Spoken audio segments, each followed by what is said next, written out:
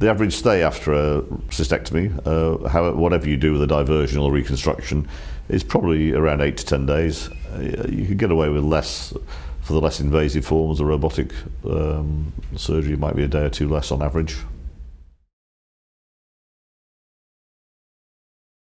Uh, that, the recovery after surgery always depends what you mean by recovery.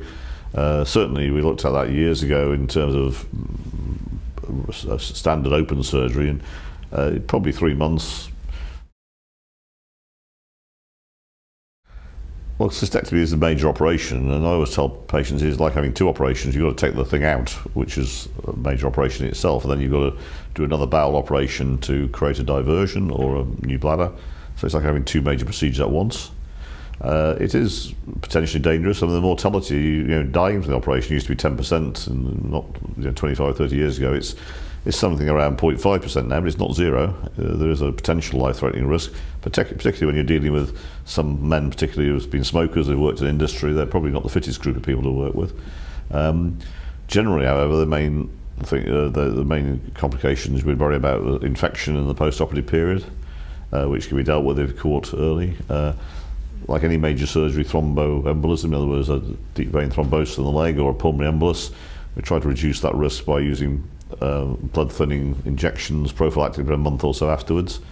Um, issues with any any time when you do a reconstruction or an ileal conduit, you have to remove a bit of intestine and join the ends together. So the biggest um, delay is getting the bowels moving again and being sure everything's healed up. Any failure of that healing is is where you can get a major complication if you get leakage of bowel contents.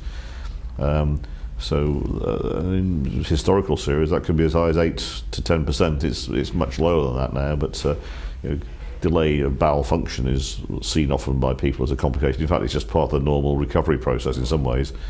Um, so so healing up of the bowels, infection from um, embolism in the early stage during operation, bleeding, but again, that's pretty. Uh, yeah, pretty low rate of uh, ma major hemorrhage now, but it's still a slight risk. The other complication of major pelvic surgery, particularly around the prostate and bladder in men and around the bladder and vagina in women, is, is change in sexual function.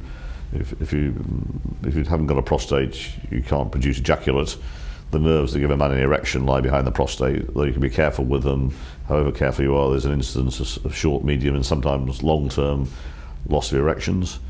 Uh, and women have, have, similar nerves that go behind the bladder and the vagina that go down to the clitoris, so you can get a loss and change in, in sexual function in women if you uh, if you um, uh, remove radically the whole bladder and, and that, that area. So I, I guess uh, sexual function has often been uh, focused on in men, but both sexes, in fact, can have changes in that if, after pelvic surgery.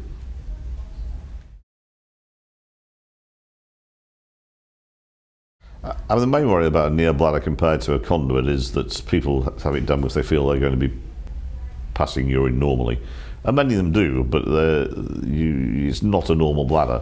It takes a little while for it to get used to filling and emptying. You don't have the normal sensation, although weirdly enough, some people do, even though they haven't got their bladder. Uh, but you, do, you, you have to get used to uh, maybe responding to different signals. So it's a bit of training around getting some control back of the bladder. Um, even then, in men, somewhere between 10 and 40%, in my hands about 10, but you know, some series of 30 to 40% will have some long-term control issues. That might be fairly minor, but it's still something that wasn't there before. In women, that's a bit lower. Women seem to, to do better with with with with uh, with a reconstruction, although far fewer get it. Um, but so I, I guess incontinence is the main one. I mean, the complications of living with a, an ileal conduit um, are, well, in the short term, you've got to get your head around the fact you've got a stoma, you've got something poking out the abdomen that's producing urine much of the time with a bag over it. Uh, and it's certainly known from stoma groups, mainly, I think, well, more often through those who had stomas for bowel problems, that there's a bit of a psychological issue there. It seems to be a bit, a bit less prevalent in those who've got urinary stomas. Well, I'm sure some of the stoma groups might disagree with that, but, but I mean, the psychological implications of having a stoma. Um, I mean, getting used to knowing whether you do things like go surfing or swimming, for example. A lot of people do. You wear something over the top of it. Um, there's a lot of evidence that stoma maybe affects sexual function as well. That's psychological too. So those the psychological and, getting used to using it in normal society. In terms of ileal conduit and its other complications, um, if your bag's not fitting properly or there's issues with the bag, it can cause some irritation and uh, soreness of the skin. Um, that stoma nurses, specialist nurses, tend to be very good at dealing with those things. Uh, because the stoma is essentially a weakness in the abdominal wall, something up to a third of people can get herniation or weakness around the stoma. Many of those is fairly mild and they deal with it. It may affect the way the bag sits or have to wear a belt. Uh, a small percentage, it might get enough weakness to require some surgical repair of a hernia. So, so I guess skin changes and herniation around the stoma are the two medium to long-term complications that uh, you get from, from having a ileal urinary stoma.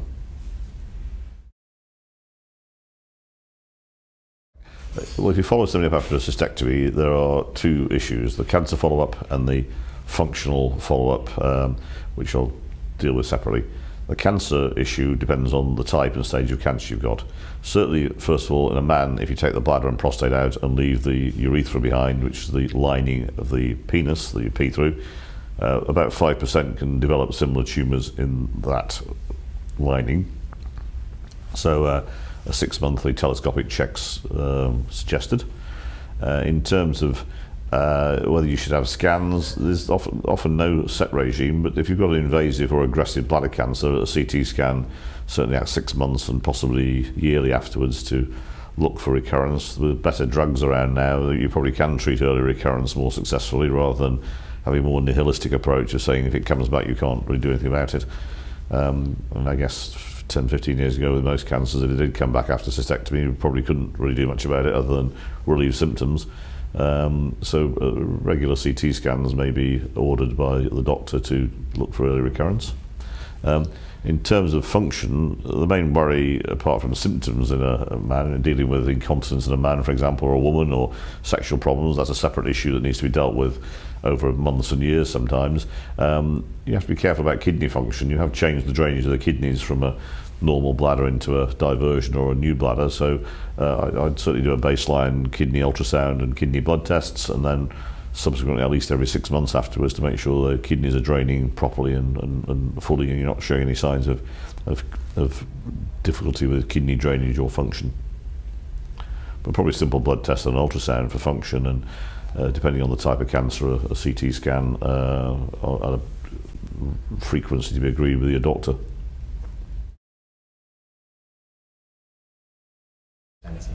Uh, well, the typical bladder cancer patient in, in Western countries is old. I mean, it tends to be five men to every woman.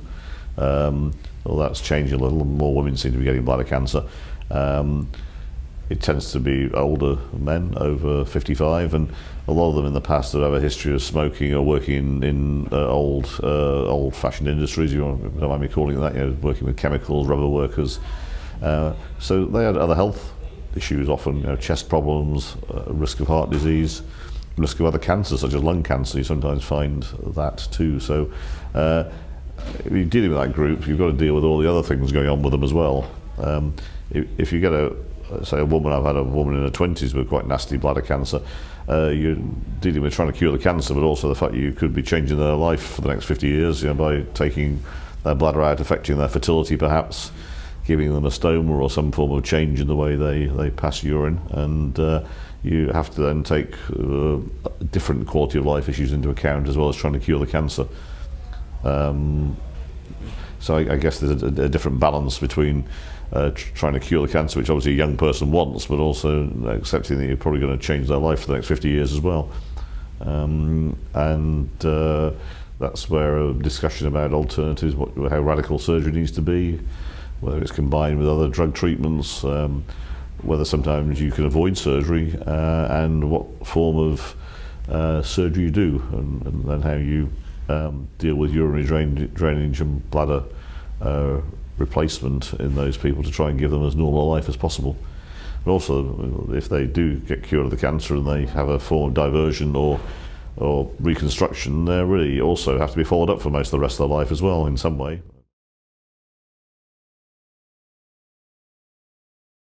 Look, people ask whether having a bladder out and a form of diversion or reconstruction is a big step. It's something they need to go down that route.